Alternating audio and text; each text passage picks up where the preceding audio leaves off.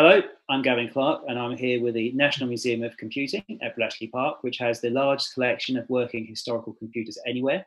We've been taking your questions uh, via Twitter, putting them to our uh, expert volunteers in the museum, who, of course, are guides and work on the rebuilds at the museum. Um, one we've had in from William Sutter at Mr. T- Tree Frog, apparently. Um, he's asked us, uh, this, this comes up quite a lot, it touches on quite an interesting subject. It's about Colossus. Um, I'd be fascinated to see a functional block diagram of Colossus. Sadly, there isn't a deposit of technical information available to the public. Well, I'm here with Peter Hove and uh, Roger Johnson, who work, uh, work at the museum, who uh, know a little bit about this. Guys, well, there isn't a lot of technical information out there about Colossus, which of course is the uh, uh, one of the most famous uh, crypto code breaking machines used at Bletchley Park during the Second World War. Um, where where is William going to see uh, a block diagram of this fantastic machine, and why isn't there so much technical information available? Okay, well, you can see a block diagram, which, which was the subject of the original question, um, on Tony Sale's Codes and Ciphers.org um, website. Mm-hmm. It's pretty basic, and I think there'll probably be an overlay on this uh, on this presentation, so you can have a look at it. Mm. It's it shows you that basically the um, the, the, really basic architecture of, of Colossus is quite simple. Mm.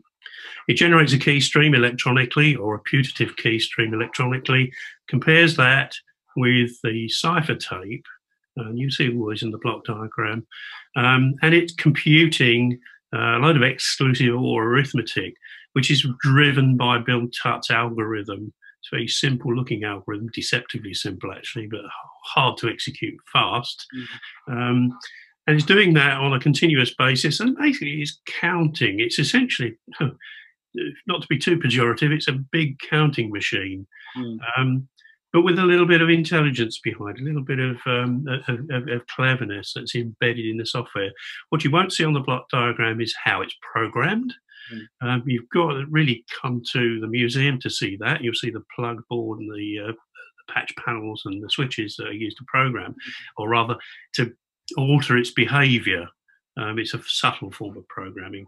Mm. Um, really, the core the core behind it, the way it works, is, is embedded in the hardware. That's the algorithm itself, the mm. so-called double delta algorithm.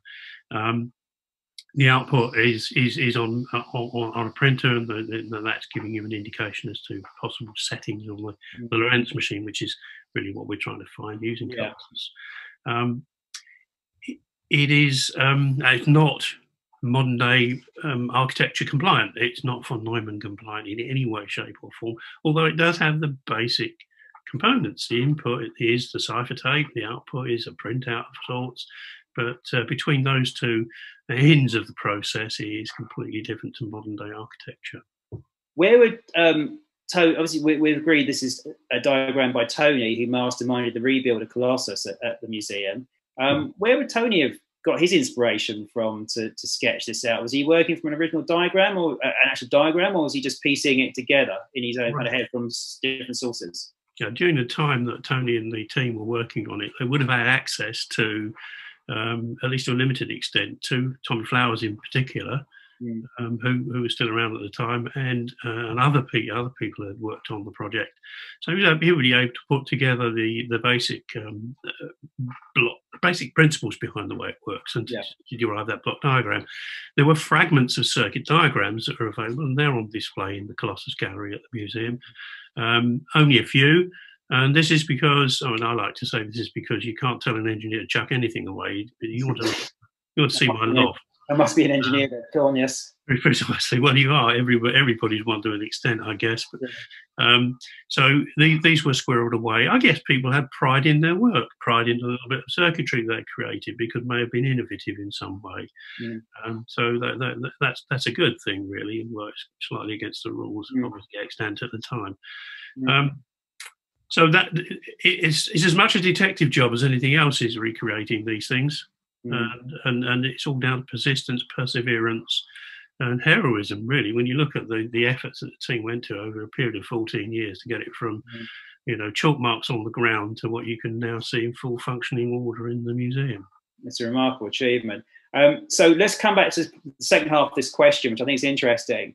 Um, there isn't a large deposit of technical information available to the public. Uh, we can speculate as to why that isn't available, whether it even existed in the first place.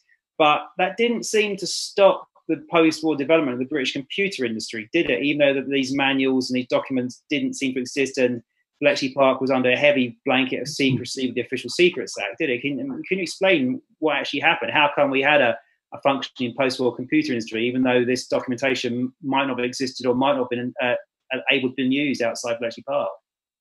when I'm guiding tours around Colossus, um, that's a frequently asked question: is didn't the secrecy surrounding this stymie the the possible development of the UK, particularly the UK computer industry? Um, and the way I usually phrase it is not necessarily, because what you can't do is use the old pen trick that you saw in Men in Black and he erase people's memories. They've worked yeah. on these devices over years um, during their their, their um, time at Bletchley. And you're not going to simply erase that. They've, they've, they've gleaned all sorts of technical information. Um, they may have even developed uh, or improved on it. And so you can't erase that. That will be taken away into uh, the post-war situation.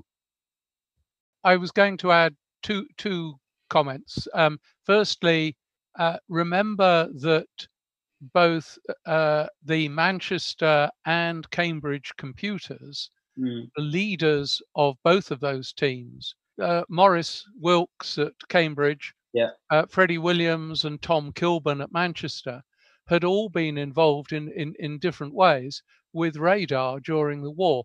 And that also uses various forms of counting technologies mm. uh, I- implemented using electronics. So uh, we, we need to realize that, that there are a number of technologies underpinning compu- uh, the early computers.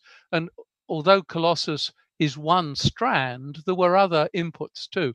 Mm-hmm. The, the other comment about secrecy after the war clearly, the whole of the documentation about Colossus was absolutely secret mm. because two of the machines went off, as is now, I think, well known, to mm. Cheltenham with, with well, went to, with GCHQ after the war, and uh, were continued to be used on uh, Cold War uh, ciphers, mm. hence the need for secrecy.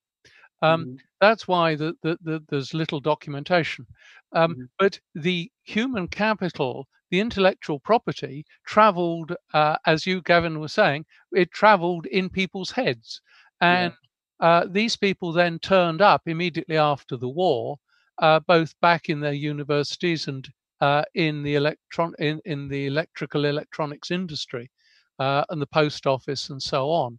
And uh, they then used that expertise quite freely. There's a mm-hmm. well-known uh, example, in, I think, in about 1948, uh, there was a very heated discussion going on about whether a computer, an electronic computer, could be built using hundreds of valves. Valves have relatively short times between failure, yeah. and therefore the view was it the machine simply won't work. It will not be able to run for long enough without a valve uh, blowing and having the machine stopping. And Jack Good is in the printed proceedings of a public conference standing up and saying, Jack Good, sorry, worked uh, with Colossus. Jack Good stood up at a conference when this issue about valves was being discussed and simply is in the public record as saying, in my wartime experience, um, uh, devices using large numbers of valves are feasible and reliable, mm. provided the valves are not turned off. Mm. Um, and uh, probably the one or two people in the room who had been with him at Bletchley Park knew that Jack Good was talking about his experience with Colossus. Most of the other people um, would simply have assumed he'd been working on electronics during the war. Uh, and there was also, it's worth saying, a culture um, of not revealing, uh, or rather not asking people um, exactly what they did in the war, Daddy. Uh, mm-hmm. You uh, didn't ask in order to avoid embarrassment, and in some cases, you wouldn't have been wished to be asked yourself what you'd been doing in the war. Yeah. So I think people had a, a, degree of reservation at that time about not asking, but the information, the, the intellectual property, was freely circulating in the hmm. public domain about the technology. It was, it was circulating with the people rather than in printed materials. Um, no, well, fairly soon, those who went back to university were writing papers about computers, hmm. and mm. what they were not doing was saying the advice. My uh, Jack Good's example, he said my wartime experience, and that's the sort of way they would couch it, and uh, they would not uh, reveal what it was, uh, where they got the experience. Okay. Uh, but the experience was put into the written record, mm. but not where it was obtained. Great. Well, there you have it. I hope that answers your question. Uh, there isn't a whole lot of technical information to be had, but it does exist. You just have to find it and you have to follow the people.